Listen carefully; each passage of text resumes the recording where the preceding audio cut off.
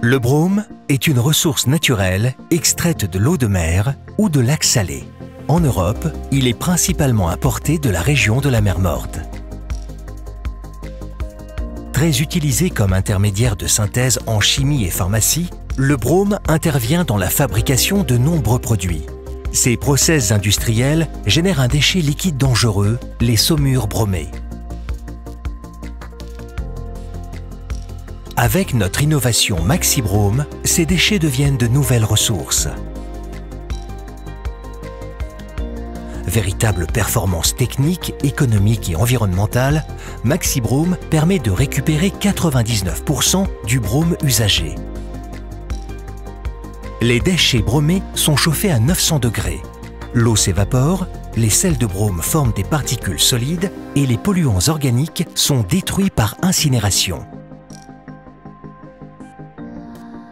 Les sels de brome sont alors récupérés par lavage à l'eau dans les fumées refroidies. Ils sont ainsi dissous dans de nouvelles saumures, purifiés et concentrés. Les fumées font ensuite l'objet d'une nouvelle épuration garantissant leur innocuité.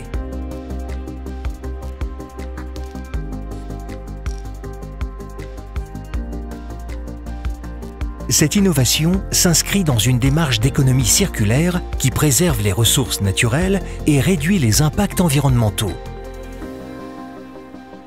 Recycler une tonne de brome génère en moyenne 20 fois moins de gaz à effet de serre et consomme jusqu'à 3000 fois moins d'eau que la production de brome vierge. Les nouvelles capacités de régénération de MaxiBrome permettent de satisfaire plus d'un tiers de la demande française en brome. Une sécurité et une diversification d'approvisionnement bienvenue pour l'industrie européenne. MaxiBrome favorise ainsi la relocalisation et le maintien des activités industrielles en France et en Europe, avec à la clé une diminution de l'empreinte environnementale. Grâce à l'engagement des équipes recherche et développement du groupe Séché Environnement, Tredi est aujourd'hui le premier acteur mondial de la régénération du brome. Ensemble, décarbonons l'économie.